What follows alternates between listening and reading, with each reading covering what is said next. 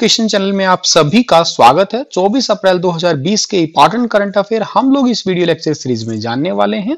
आशा करता हूँ आप सभी अच्छे होंगे। चलिए शुरू करते हैं इस लेक्चर को। दुनिया भर में कोरोना वायरस के जो केसेस हैं, वो है छब्बीस लाख निन्यानवे हज़ार आठ और मरने वालों की संख्या एक लाख नब्बे हज़ार के पास पहुँच चुकी है और ठीक होने वालों की संख्या है सात लाख इकतालीस हज़ार एक सौ चार। दुनिया भर में अमेरिका की स्थिति बहुत ही खराब है। आप देखिएगा आठ लाख सत्तर हज़ार को भी आंकड़ा क्रॉस कर चुका है और मरने वालों की संख्या ऑलमोस्ट पचास हज़ार हो चुकी है। जब तक आप इस वीडियो को देख रहे होंगे तो ये लगभग पचास हज़ार हो चुकी होगी। और बात करता हूँ मैं टॉप टेन कंट्रीज़ में तो नौवे नंबर पे चाइना बार है, जहाँ से ये वायरस स्टार्ट हुआ था। अब चाइना की स्थिति बेहद बेहद अच्छी है। आप खुद देखिएगा कि पाँच दस केस नए आ रहे हैं रोज यहाँ पे। और जितने नए आ रहे हैं, उतने रिकवर हो भी जाते हैं यहाँ पे। तो सबसे अच्छी बात तो ये भी है यहाँ पे। तो सबसे इंपॉर्टेंट बात यह है कि हमारे इंडिया के अंदर जो है, वो कंफर्म केस जो है, वो भी तेज़ी से बढ़ रहे हैं। तेईस हज़ार का आंकड़ा क्रॉस कर चुका है और मरने वालों की संख्या 721 हो चुकी है। महाराष्ट्र के अंदर जहाँ तक देख रहा हूँ मैं कि इन दिनों में सबसे ज़्यादा एक दिन में केस आए हैं 778 केस एक दिन के अंदर देखने को मिले हैं। दो नंबर पे गुजरात है, तीन नंबर पे दिल्ली है। भारत की स्थिति भी बेहद खराब होती दिखाई दे रही है।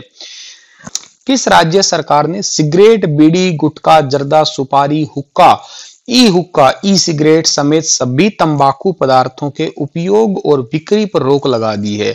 तो भी हाल ही में सभी तंबाकू पदार्थों के उपयोग और बिक्री पर रोक लगाने वाला राज्य है झारखंड। सी ऑप्शन सही है इस क्वेश्चन का हमारा। घबराइएगा नहीं, इसमें हरियाणा राज्य नहीं है, क्योंकि अगर हरियाणा होता तो हो सकता है कि कुछ कन्याओं का दिल दहल जाता। सोच रही होंगी कि सर जी बीड़ी पीने बिना हम रह कैसे सकते हैं? तो बेटा घबराइएगा नहीं, आप हरियाणा में हैं, आप आराम से बीड़ी पिएगा, गुटखा खाइएगा, जर्दा लगाइएगा, सुपारी खाइएगा। चलिएगा, मज़ाक कर रहा हूँ झारखंड राज्य की बात कर रहे हैं। झारखंड ने ऐसा क्यों किया? क्योंकि जहाँ कोई गुटखा खा के थूकता है तो थूकने से ही, क्योंकि ये ड्रॉपलेट से ही वायरस फैलता है तो इसी वजह से थूकने से कोरोना वायरस फैलने का खतरा बढ़ रहा है। सार्वजनिक जगहों पे लोग थूक रहे हैं तो उससे थोड़ा और सिम्टम इंक्रीज हो सकते हैं। इस वजह से झारखंड ने ये निर्णय लिया है। बात करता हूँ, झारखंड की तो मैप में देखिएगा, ये है झारखंड। झारखंड राज्य में गंगा नदी सबसे कम बहती है। एक क्वेश्चन बड़ा छोटा सा, बड़ा इंपॉर्टेंट है। सबसे ज़्यादा यूपी में बहती है, सबसे कम झारखंड में बहती है। टोटल पाँच राज्यों में गंगा नदी बहती है, ये भी आपको याद रखना है। झारखंड की स्थापना पंद्रह नवंबर दो हज़ार को हुई थी। एरिया जो है वो सेवन वर्ग किलोमीटर है। मुख्यमंत्री हेमंत सोरान है, राजधानी रांची है और जनसंख्या तीन दशमलव एक नौ करोड़ है। अगला सवाल है कि भारत की सबसे बड़ी आईटी कंपनी टीसीएस किस देश का पहला पूर्ण डिजिटल बैंक लॉन्च करने वाली है? तो अभी हाल ही में टीसीएस कंपनी जो है, वो इसराइल का सबसे बड़ा या 100 परसेंट डिजिटल बैंक लॉन्च करने वाली है। सी ऑप्शन जो है इस क्वेश्चन का हमारा वो बिल्कुल ठीक है। ये भारत की सबसे बड़ी कंपनी है टीसीएस और टीसीएस का फुल फॉर्म है टाटा कंसल्टेंसी सर्विस और इजरायली वित्त मंत्रालय ने इस बैंकिंग सेवा ब्यूरो का निर्माण करने के लिए टीसीएस को चुना है, जिसका मेन मकसद ये है कि बैंकिंग क्षेत्र में थोड़ा सा बदलाव लाना। करीब 40 वर्ष में इसराइल के बैंकिंग में लाइसेंस पाने वाला ये जो पहला बैंक है इसराइली बैंक और इसकी शुरुआत जो हुई थी वो 2021 के अंदर हो जाएगी, ये पूर्ण डिजिटल बैंक जो है, बनना या काम करना। और बात करूँ मैं इस टीसीएस के सीईओ कौन है तो उनका नाम है राजेश और हेडक्वार्टर टीसीएस का है मुंबई में। इसराइल को देखिएगा मैप में आप लोग, यह इसराइल इसराइल के राष्ट्रपति का नाम है रिवलिन। इसराइल की राजधानी है जेरूसलम। जनसंख्या है? आठ आठ दशमलव आठ लाख दो हज़ार अठारह तक है ये। प्राइम मिनिस्टर यहाँ के हैं बेंजामिन नेतन्याहू अगला जो हमारा क्वेश्चन है कि अंग्रेज़ी भाषा दिवस कब मनाया जाता है? अंग्रेज़ी भाषा दिवस हर साल मनाया जाता है तेईस अप्रैल को। ए ऑप्शन सही है इस क्वेश्चन का हमारा? देखो 23 अप्रैल को विलियम शेक्सपियर की जन्म तिथि तथा मृत्यु तिथि होने के कारण ही इस दिवस को मनाया जाता है। अंग्रेज़ी भाषा एक ऐसी भाषा है जो अलग अलग देशों में संस्कृति से आने वाले लोगों को आपस में जोड़ती है। और बल्कि अंग्रेज़ी भाषा, इंग्लिश लैंग्वेज छह भाषाओं में शामिल है, उन छह भाषाओं में शामिल है जिन्हें संयुक्त राष्ट्र यानी कि यूएनओ ने दिवस के रूप में घोषित कर रखा है। अंग्रेज़ी दुनिया की तीसरी सबसे ज़्यादा बोलने वाली भाषा है और बिज़नेस और एजुकेशन में भी सबसे ज़्यादा इस इस भाषा का प्रचलन है। अच्छा ये तीसरी सबसे ज़्यादा बोलने वाली भाषा है तो आप मुझे कमेंट सेक्शन में लिख के बताइएगा पहली सबसे ज़्यादा कौन सी बोली जाती है और दूसरी सबसे ज़्यादा कौन सी बोली जाती है।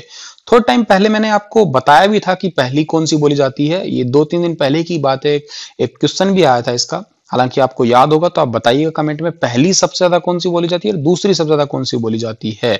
ठीक है? अगला हमारा क्वेश्चन है कि किस खिलाड़ी को आई एम बैडमिंटन जागरूकता अभियान के लिए ब्रांड एम्बेसडर चुना है। तो आई एम बैडमिंटन जागरूकता अभियान के लिए ब्रांड एम्बेसडर चुना है पीवी सिंधु को। बी ऑप्शन सही है इस क्वेश्चन का हमारा। कल मैंने आपसे क्वेश्चन पूछा भी था। पीवी सिंधु 2016 में रियो ओलंपिक में रजत पदक विजेता है। इनके कोच का नाम है पुलेला गोपीचंद। विश्व चैंपियन पीवी सिंधु ने इनके साथ में आठ खिलाड़ियों को विश्व बैडमिंटन महासंघ के आईएम बैडमिंटन जागरूकता अभियान के लिए एम्बेसडर चुना गया है, जिनकी ब्रांड एम्बेसडर ये है। पीवी सिंधु के अलावा कनाडा के मिशेल ली, चीन के झेंग वीई हुंग हुआउ के कियोंग, इंग्लैंड के जैक शेपर्ड, जर्मनी के वालास्का, हांगकांग के चान युअन और जर्मनी के मार्क जेबलर जो है, ये लोग शामिल हैं। और इसका एक मेन मकसद ये है कि लोगों की तरफ़ जो है बैडमिंटन खेल का थोड़ा सा रुझान करना और खेल को थोड़ा ईमानदारी से या साफ़ सुथरे तरीके से मतलब मन से थोड़ा सा आ, कोई भेदभाव नहीं कोई किसी से चालबाजी ना करके गेम को खेलना। अगला हमारा क्वेश्चन है कि सुप्रीम कोर्ट ने किस राज्य के एसटी उम्मीदवारों के लिए 100 प्रतिशत आरक्षण प्रदान करने के आदेश को जो है वो निरस्त कर दिया है? तो अभी हाल ही में हंड्रेड परसेंट जो आरक्षण था, वो देने का एक आदेश था, वो रद्द कर दिया है आंध्र प्रदेश के आंध्र प्रदेश राज्य के लिए। सी ऑप्शन सही है इस क्वेश्चन का हमारा। और न्यायमूर्ति अरुण मिश्रा की अगुवाई और उनके साथ में पाँच जजों की जो बेंच थी, उन्होंने आंध्र प्रदेश के राज्यपाल द्वारा जारी किए गए सरकारी आदेश जो है, उसको रद्द किया है। और अनुसूचित जनजाति शेड्यूल ट्राइब यानी कि उनके शिक्षकों के लिए आरक्षण की पुष्टि की गई थी और सुप्रीम कोर्ट ने साथ ही आंध्र प्रदेश और तेलंगाना सरकार दोनों पे जुर्माना भी लगाया है। ठीक है कि 100 परसेंट अगर आरक्षण हुआ तो मतलब बाकी लोग क्या करेंगे भाई? आंध्र प्रदेश की बात करें हम लोग तो यह है मैप में देखिएगा आंध्र प्रदेश आंध्र प्रदेश की राजधानी अमरावती है और आने वाले समय में अमरावती बनेगी। वर्तमान में राजधानी हैदराबाद है। गवर्नर का नाम विश्व भूषण हरिचंद्रन है। जनसंख्या चार दशमलव नौ सात करोड़ है और मुख्यमंत्री का नाम वाई एस जगनमोहन रेड्डी है। आंध्र प्रदेश को एशिया की अंडों की टोकरी कहा जाता है और भारत की अंडों की टोकरी हैदराबाद को कहा जाता है। हैदराबाद मुस्सी नदी के किनारे है। एक क्वेश्चन और है जो आपको याद रखना है। अगला जो हमारा सवाल है कि when will PM Narendra Modi hold his third video conference with the chief minister on corona virus lockdown आप सभी को पता है थोड़ा टाइम पहले ही जो है, वो सभी राज्यों के मुख्यमंत्री के साथ में वीडियो कॉन्फ्रेंसिंग के एक मीटिंग हो चुकी है। ऑलरेडी दो दो मीटिंग हो चुकी है, अब तीसरी मीटिंग जो है, वो होने वाली है 27 अप्रैल को। बी ऑप्शन सही है इस क्वेश्चन का हमारा, ठीक है? वीडियो कॉन्फ्रेंसिंग के थ्रू इस तरीके से सभी राज्यों के सीएम जो हैं वो जुड़ेंगे और बातचीत करेंगे कि लॉकडाउन जो तीन मई को खत्म होने की संभावना और कुछ राज्यों में तीस अप्रैल को भी खत्म हो जाएगा। तो इसी के लिए, इसी पे विचार करने के लिए, अगर मुझसे कोई सवाल पूछता है, मुझसे सवाल पूछ भी रहे हैं बहुत सारे स्टूडेंट कि सर ये लॉकडाउन कब खत्म होगा? क्या तीन मई को खत्म होगा? पहली तो बात, ये खत्म करना चाहिए ही नहीं तीन मई को। उसका सबसे बड़ा कारण है क्योंकि आप सभी को मैं करंट अफेयर पढ़ाने से पहले रोज जो है वो लेटेस्ट अपडेट बताता हूँ। दुनिया भर की और दुनिया भर के देशों की भी अलग अलग और इवन हमारे भारत के राज्यों तक की बताता हूँ। तो आप खुद देख पा रहे होंगे कि केसेस जो है वो रैपिड तरीके से डे बाय डे जो है अलार्मिंग रेट से इंक्रीज हो रहे हैं। सो so, इसके अंदर क्या है? मतलब एक ही देखो वैक्सीन तो है नहीं इलाज एक ही क्या है? इलाज वही है कि घरों में रहिएगा। तो लॉकडाउन जो है वो नहीं ओपन करना चाहिए। हाँ कुछ ज़रूरी है जैसे इंडस्ट्रीज़ जहाँ पे ऑटोमेटिक काम होते हैं या कोई फैक्ट्रीज है तो उन चीज़ों को ओपन कर देना चाहिए, या सोशल डिस्टेंसिंग जहाँ पे मेंटेन हो सके, और या किसी भी तरीके से प्लानिंग करके तो उनको ज़रूरी चीज़ों को ओपन कर देना चाहिए। बाकी आम जनता की जितनी भी चीज़ें हैं, जहाँ पे भीड़ भाड़ हो, उनको एक बार के लिए बंद रखना ही चाहिए। ये मेरा पर्सनल ओपिनियन है। देखो, मेरा सरकार से या कोई ऐसा कुछ नहीं है, ये तो मेरी सोच है, हो सकता है इसमें कोई डिफर भी हो। अगला हमारा सवाल है कि two cats test positive for the corona virus in which city of the United State दो बिल्लियाँ जो है, उनको कोरोना वायरस हो गया भाई। इन म्याऊ को कोरोना वायरस हो गया, ठीक है, म्याऊ म्याऊ को। और तो अब इनको कोरोना वायरस हुआ है, ये कौन से अमेरिका के शहर की है? ये न्यूयॉर्क शहर की है दो बिल्लियाँ, जिनको जो है कोरोना पॉजिटिव मिला है। कोरोना वायरस क्या पालतू जानवरों को हो सकता है? इसके ऊपर मैं आपके लिए एक डिटेल वीडियो लेके आऊँगा, बहुत जल्द ही। न्यूयॉर्क जो है वो सबसे ज़्यादा आबादी वाला है, सबसे ज़्यादा अभी फ़िलहाल के लिए कोरोना वायरस संक्रमित भी वही है, अमेरिका का, और अमेरिका की राजधानी वॉशिंगटन डीसी है करेंसी अमेरिकी डॉलर है। Who has been appointed as the new head of National Shipping Board. National Shipping Board के नए अध्यक्ष कौन बने हैं? तो ये नए अध्यक्ष बने हैं मालिनी शंकर। ये ऑप्शन सही है इस क्वेश्चन का हमारा, ठीक है? मालिनी शंकर शंकर जो है इन, ये शिपिंग की पूर्व महानिदेशक रही है। इनको राष्ट्रीय शिपिंग बोर्ड के नए प्रमुख के रूप में नियुक्त किया गया है।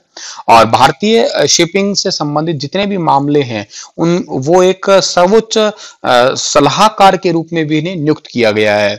और जो नेशनल शिपिंग बोर्ड है, इसका हेडक्वार्टर न्यू दिल्ली में है। जब से देश आज़ाद हुआ था, तभी से ये काम कर रहा है। ठीक है, उन्नीस सौ अठावन के दौरान इसमें थोड़ा पुनर्गठन भी किया गया था। निम्नलिखित में से किसने बताया है कि भारत में वायु प्रदूषण 20 साल के निचले स्तर पर पहुँच गया है? कोरोना का एक पॉजिटिव फैक्ट जो देखने को मिल रहा है वो ये है कि प्रदूषण काफ़ी कम हो गया, बल्कि खत्म ही होने को हो रहा है। ये रिपोर्ट दी है नासा ने, ठीक है? ए ऑप्शन सही इस क्वेश्चन का हमारा। नासा का फुल फॉर्म है नेशनल एरोनॉटिक्स स्पेस एडमिनिस्ट्रेशन जैसे हमारे इंडिया में इसरो है, वैसे ही अमेरिका में नासा है। नासा की स्थापना हुई थी उन्नीस सौ अठावन को हुई थी, ठीक है? जुलाई उन्नीस सौ अठावन को हुई थी इसका हेडक्वार्टर है अमेरिका के अंदर। अगला जो हमारा क्वेश्चन है, निम्न में से विश्व पुस्तक और कॉपीराइट दिवस कब मनाया जाता है? वर्ल्ड बुक डे और कॉपीराइट डे जो है, ये मनाया जाता है 23 अप्रैल को ही। ए ऑप्शन सही है इस क्वेश्चन का हमारा। देखिए, किताबें क्या होती है? किताबें हमारी ह्यूमन क्रिएटिविटी जो होती है, हमारी जो डिजायर्स होती है, हमारे जो आइडिया होते हैं, हमारी जो नॉलेज होती है, उसको एक दूसरे लोगों तक शेयर करने का एक माध्यम है। तो उन्हीं चीज़ों के लोगों से जागरूकता पैदा करना, लोगों को और लिखने के लिए प्रेरित करना, इन चीज़ों के लिए ये दिवस मनाया जाता है। इस दिवस को जो है, वो यूनेस्को ही जो है, वो वेरीफाई कर चुका है। United Nation Educational Cultural and Cultural Organization जो है, उन्होंने इसको वेरीफाई कर चुका है वो। हाल ही में न्यू डेवलपमेंट बैंक भारत को कितने बिलियन डॉलर की वित्तीय सहायता प्रदान करेगा? तो न्यू डेवलपमेंट बैंक भारत को एक बिलियन डॉलर की जो है, वो सहायता प्रदान करेगा। इस कोविड 19 वायरस जो है इसे लड़ने के लिए। बेसिकली न्यू डेवलपमेंट बैंक जो है, ये ब्रिक्स डेवलपमेंट बैंक भी इसका दूसरा नाम है, इसका हेडक्वार्टर संघाई चाइना में है। केवी कामाथ इसके प्रेसिडेंट है। पहले प्रेसिडेंट भी केवी कामाथ है। इसकी स्थापना 15 जुलाई 2014 को हुई थी ब्रिक्स देश, ब्रिक्स। ब्रिक्स में पाँच देश आते हैं B R I C S B for Brazil R for Russia I for India S for South Africa ये जो है, ये पाँच राष्ट्र इसको मिलके एक संगठन बना रखा है। इतने ही थे आज के करंट अफेयर आशा करता हूँ आप सभी अच्छे होंगे और आपको ये वीडियो लेक्चर पसंद आया होगा। इसी के साथ ये लेक्चर समाप्त होता है। धन्यवाद। हँसते रहना, मुस्कुराते रहना।